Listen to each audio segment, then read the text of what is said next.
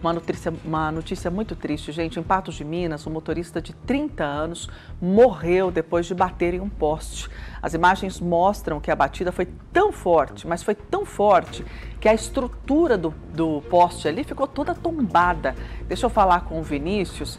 Vini, que tragédia, hein, meu amigo? Já se sabe qual foi o motivo disso tudo? Não, ainda está sendo investigado, viu, Miriam? O caso aconteceu na Avenida Fátima Porto durante a madrugada deste domingo. O motorista perdeu o controle, ainda não se sabe exatamente porquê, bateu no poste e depois capotou.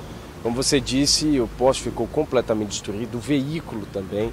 Ah, o corpo de bombeiros foi acionado. Quando chegaram até o local, os bombeiros chegaram ao local, o homem estava preso às ferragens, ainda com vida, mas em parada cardiorrespiratória. Infelizmente, quando ele foi levado para o hospital regional, ele não resistiu, não houve tempo de salvamento ah, desse homem.